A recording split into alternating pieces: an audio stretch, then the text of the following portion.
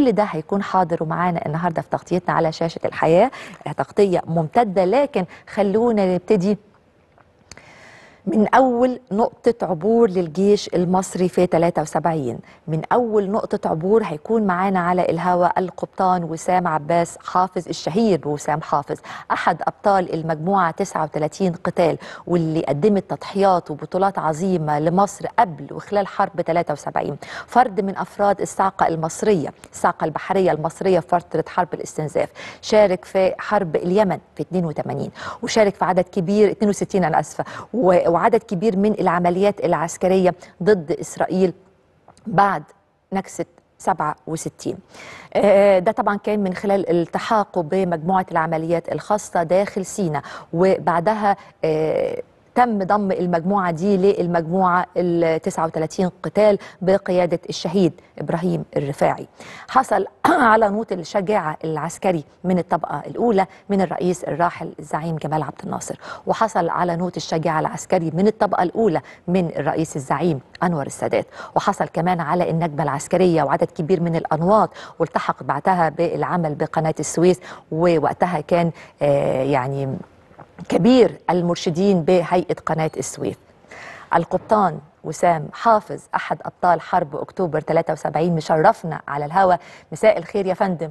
أهلا وسهلا بحضرتك وكل سنة وحضرتك طيب وبصحة وخير يا رب. السلام عليكم. وعليكم السلام السلام. عليكم كل سنة طيبين.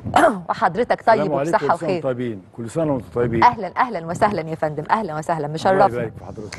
الله يبارك. يعني سعداء ومتشرفين. جدا. جدا إن حضرتك حاضر وموجود معانا النهارده علشان نحكي ونتكلم عن لحظات وأيام مجيدة في عمر الوطن. حضرتك وأنت النهارده موجود معانا من أول نقطة عبور للجيش المصري في حرب أكتوبر. كلمنا عن اللحظة دي يا فندم، لحظة العبور. اللحظة دي أنا كنت في المجموعة 39 قتال التابعة لفرع العمليات الخاصة اللي كان بيقوده الشهيد إبراهيم الرفاعي اللي هو كان القائد بتاعي لمدة ست سنين طول فترة حرب الاستنزاف وحرب 73 أيوه يا فندم. وأنا كنت معاه طول الفترة دي الحمد لله يعني. عملنا أعمال عظيمة جدا واخترقنا دفاعات العدو في مناطق عديدة. بس النهارده بالذات الشهيد إبراهيم أو البطل إبراهيم الرفاعي وكان معاه الدكتور علي نصر وكان معاه بعض ضباط المجموعة وعدوا بالطيارات هليكوبتر وضربوا آه، المستودعات البترول آه، آه، في البلاعيم الساعة 2 النهاردة آه، آه، النهاردة الظهر. يعني زي النهاردة الظهر 6 أكتوبر 73 ده كانت أول معركة قام- قمنا بيها المجموعة 39 39 قتال بقيادة الشهيد إبراهيم الرفاعي وفي العملية دي كان هم طيارتين هليكوبتر للأسف في طيارة منهم آه، أصيبت ووقعت وكان فيها النقيب فؤاد عبد الغفار الله يرحمه بعد كده است- ما- توفى. است- اتأثر هو وقائد الطيارة وطاقم الطيارة برضه اتأثر. وكان فيها الشهيد الشاويش مطاوع استشهد كان في الطيارة دي. أما الطيارة الثانية اللي كان فيها إبراهيم الرفاعي والدكتور علي نصر آه، وجلال النادي كان طي- الطيار رجعوا بالسلامة. ودي كانت أول عملية قمنا بيها المجموعة 39 قتال. في الوقت ده كان طيران المصري بيضرب مواقع العدو جوه سينا وفي نفس الوقت المدفعية بتضرب آه، الجبهة بالكامل على من السويس وحتى بورسعيد. بتضرب الجبهة بالكامل بالمدفعية. وابتدت وحدات المشاة آه، ينزلوا بالقوارب. ويعدوا قناة السويس. كل ده تم الساعة 2 الظهر النهارده. طيب لو اتكلمنا أكتر عن طبيعة المجموعة دي يا فندم لأن تردد اسمها كتير في عدد كبير من العمليات. آه، آه، طبيعة المجموعة إمتى اتشكلت؟ إيه الهدف منها؟ إيه الاستراتيجية القتالية بتاعتها؟ المجموعة دي اتكونت من 39 واحد. منهم 29 واحد من القوات البحرية. آه. ثلاث ضباط بحرية وص- ثلاث و26 صف ضابط. آه. وبعد كده في س- ستة م- م- ضباط ومنهم إبراهيم رفاعي وعلي نصر و- ويعني مجموعة ورجائي ويعني كان مجموعة من ست ضباط وأربعة صف ضباط منهم مصطفى إبراهيم و ويعني كان كلنا على بعض كده كنا 39 واحد. عملنا حوالي 40 عملية قتالية وسمونا عشان عملنا يعني كنا مشهورين بعمليات كلها ناجحة. ونجاح العمليات بتاعتنا إن إحنا كنا بنعمل استطلاع جيد. آه، بنبقى عارفين هنعمل إيه فين. وطبعا حسب تصرفات الإسرائيليين فكنا بنستطلع بنستطلعهم ونستطلع تصرفاتهم وأماكن تمركزهم وبالتالي كنا بنختار الأماكن اللي يعني اللي إحنا هنحس منها إن إحنا هنقدر نعمل معاهم آه، مواقف إيجابية. وبالتالي كنا بنعبر كل يوم سبت آه، من سنة 67 وحتى وقف إطلاق النار آه، سنة 1970 آه. آه، عملنا في هذه الفترة آه، 99 عملية عبور آه، متنوعة آه، إغارة أيام انتقاما للشهيد المنعم رياض ودي كانت في تسعة- في 19 إبريل سنة 69 وهجمنا على موقع لسان التمساح اللي, اللي, اللي, اللي, بسببه استشهد آه، الشهيد عبد المنعم رياض في الإسماعيلية. وكان الانتقام بتاعنا إن إحنا آه، قتلنا آه، معظم آه، ال- الإسرائيليين اللي كانوا موجودين. وكان عددهم 44 واحد. ودمرنا الدشم بتاعته. والكلام ده كان في 19 أكتوبر سنة 3 سنة 9 سنة 69 تعددت العمليات بتاعتنا. بعد كده إلى إن عملنا إنزال بالهليكوبتر على طرق جوه سينا واشتركنا برضو في المجموعة بتاعتنا في عمليات الهجوم على ميناء ايلات وتدمير اللي, اللي إحنا نفذنا فيها ثمان عمليات هجوم على ميناء إيلات أنا أنا هنتوقف. آه، آه، آه، حضرتك و- عند العمليات المهمة اللي حصلت في تدمير ميناء إيلات والحفار لكن لأن دي محتاجة تفاصيل كتير هرجع لها بعد شوية لكن حضرتك بتعدد كم العمليات اللي تمت بعد آه، 67 آه، وصولا لوقف إطلاق النار و- وحتى وانت بتقول لي إن قوام المجموعة دي 39 فرد بس فأنت بتتكلم على مجموعة وأنا بتكلم على استراتيجية ال ال ال ال يعني ال- ال- القتالية الخاصة بالمجموعة. أنت عدد محدود بيعمل عمليات خاطفة وسريعة وبإنجاز وبنجاح الحمد لله يا رب. إزاي ده كان مهم في وقت صعب؟ ونجاح لأن كده ال- الحمد لله. آه ما أنا بقول. ده بقى إزاي أثر وسمع في معنويات الجيش المصري والشعب المصري في الفترة الصعبة اللي عشناها بعد 67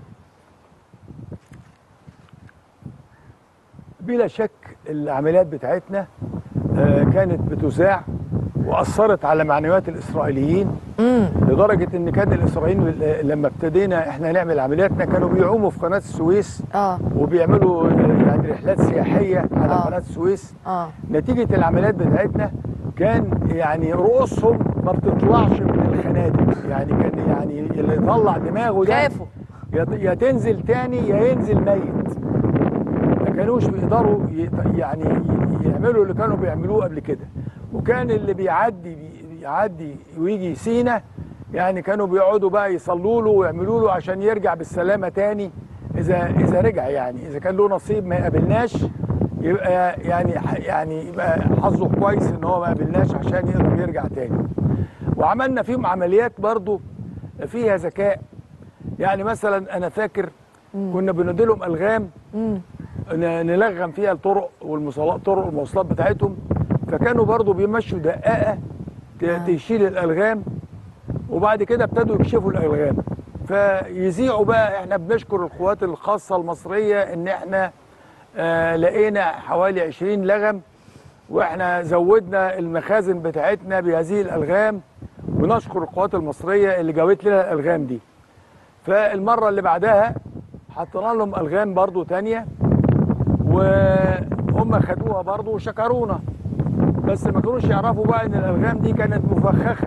آه. لأن اللغم كل واحد من دول كان محطوط فيه مفجر ينفجر بعد سبعة أيام بعد سبعة أيام.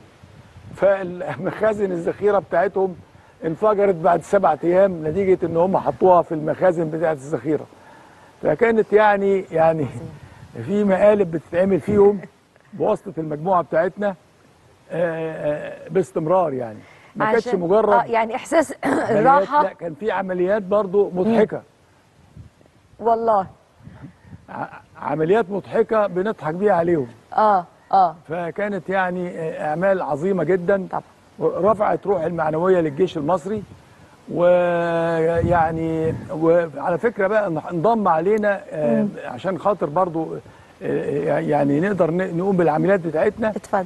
بعد ما كنا 39 واحد انضم علينا فصيلتين من الكتيبة 103 آه. صاعقه آه. عشان نبقى عدد كبير وأصبحت اسم اسميتنا بقى اسمنا المجموعة 39 قتال.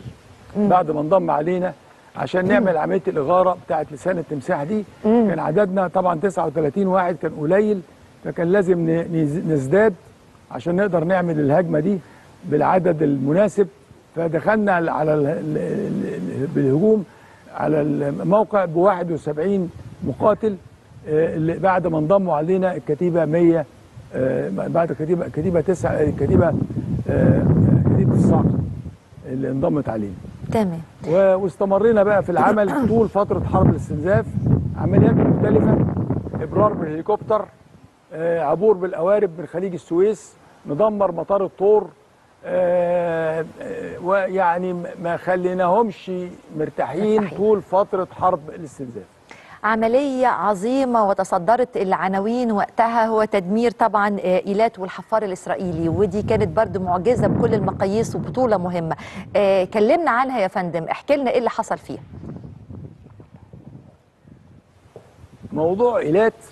آه، كان طبعا هم كانوا آه، آه، آه، يعني قدروا يعملوا إنزال نتيجة العمليات الكتيرة اللي إحنا عملناها فيهم فهم قدروا يعملوا إنزال في منطقة الزعفرانة آه. ويهاجموا وحدات نقط الحراسة اللي موجودة على الساحل في المنطقة دي.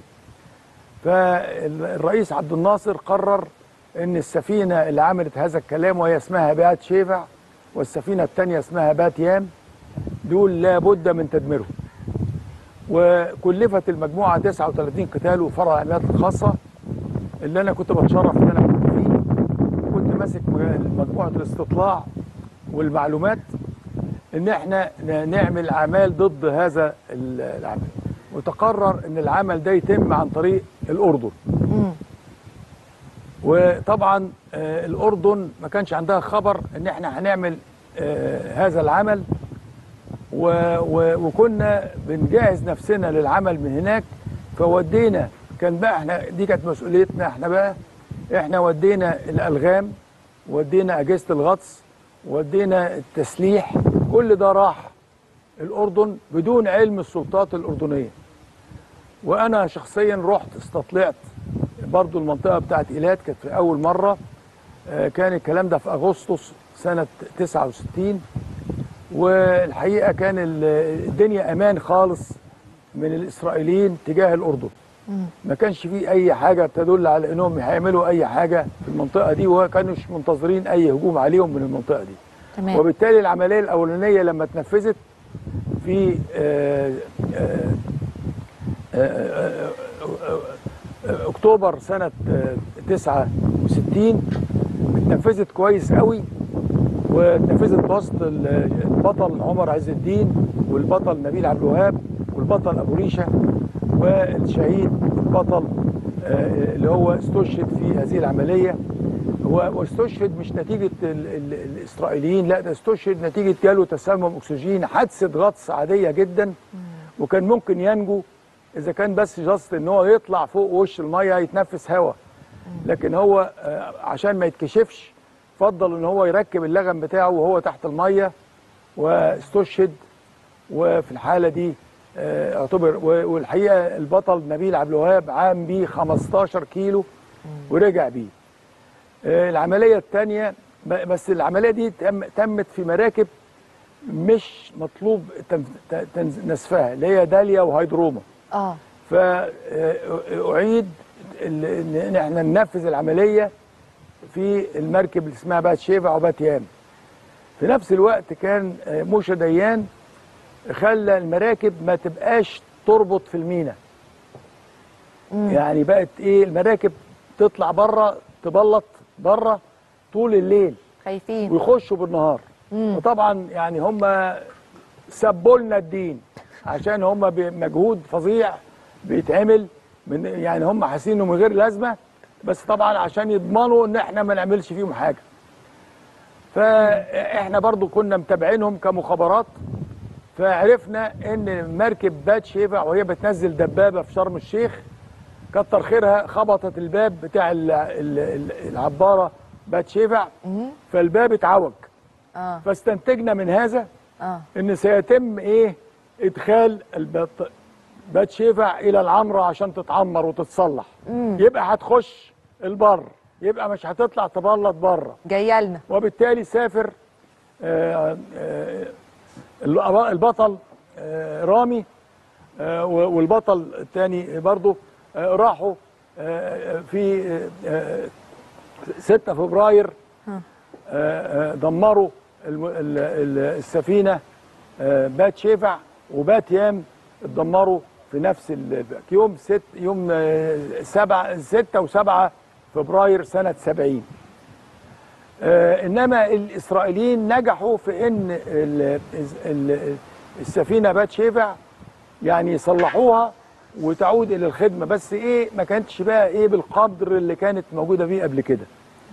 فاتعملت عملية تانية في 15 مايو آه، قام بيها البطل عمر عز الدين ومعاه نبيل عبد الوهاب وأبو ريشة والعراقي وراحوا عملوا العملية الثالثه آه، عشان يلغموا بس المرة دي الإسرائيليين آه، يعني إيه اكتشفوا إن في حاجة في المية فرموا قذائف أعماق في في المية فكانت النتيجة إن إيه آه، كل أفراد الضفادع طف- طفوا على وش المية وال- والألغام بقت أصيبت بإنها إيه ما بتغرقش.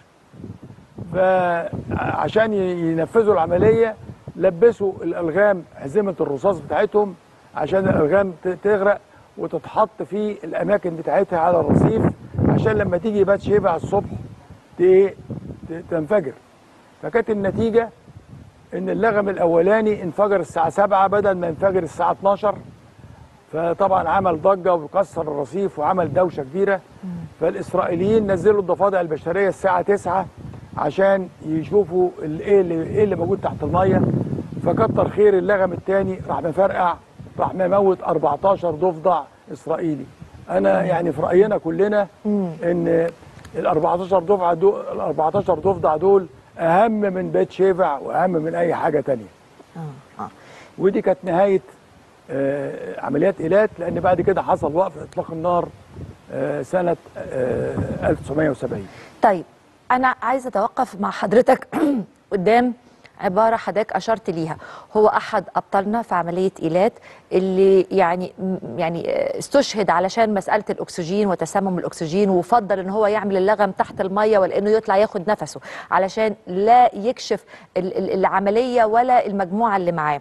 ولما كنا بنقول إنه كان في فرق في ال في ال في ال في القدرة القتالية أو في السلاح أو في الكلام ده كله لكن كان دايما آه، ال- العامل القوة هو المقاتل المصري بإرادته بعزيمته إن المسألة مش مسألة سلاح لكن مسألة حب الوطن والإصرار على استرجاع الأرض.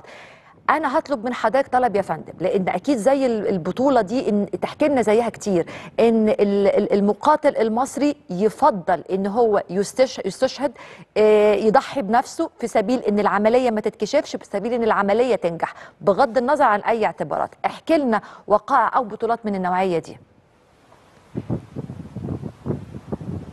اولا البطل اللي بتتكلمي عنه ده اسمه البرقوقي. كان آه، شاويش في قوه الضفادع البشرية آه. في لواء الوحدات الخاصه الله يرحمه. في آه، يعني شهداء زيه بالظبط كده. كانوا معانا في لسان التمساح كان في معانا الشامي والشهيد موسى عبد العاطي. الشامي ده ضرب بالار جي بتاعه رشاش إسرائيلي في الموقع الحصين اللي بتاع لسان التمساح آه. اللي هو كان اتعمل العملية اتعملت عشان خاطر آه، أخذ بالصقر ل- للشهيد عبد المنعم رياض. آه. وفي نفس الوقت برضه استشهد معاه آه، موسى عبد العاطي. آه. ودول برضو من الأبطال المجموعة 39 قتال. آه. أنا برضو كان معايا في اللانش بتاعي في عيون موسى آه، آه، الشهيد البطل عصام الدالي. مم. وده أحد الرجال ضباط المخابرات وكان راجل عظيم جدا وأنا بعتبره أخ أكبر ليا. وهي كنت دايما بطلع معاه العمليات. العملية دي برضو هو استشهد فيها في 30 أغسطس سنة 69 وكان برضو كان معانا برضو صف ضابط اسمه الشهيد عامر كان من الكتيبة 93 صاعقة. كان معايا في نفس اللانش والقذيفة مرت على قدامي من قدامي يعني خبطت دماغ عامر وطلعت من دماغ عامر على الشهيد عصام الدالي. وإصابة مباشرة إصابة مباشرة. من الدبابة. الدبابة استمرت في الضرب علينا تسع دنات وأنا الحمد لله قدرت أرجع باللانش بالباقي المجموعة. كان في حوالي 12 واحد في اللانش.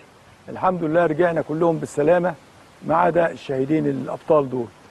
آه، طب لو اتكلمنا كمان آه، يا فندم عن يعني الشهيد كانوا- البطل إبراهيم الرفاعي الله يرحمه يعني احكي لنا عنه أكتر.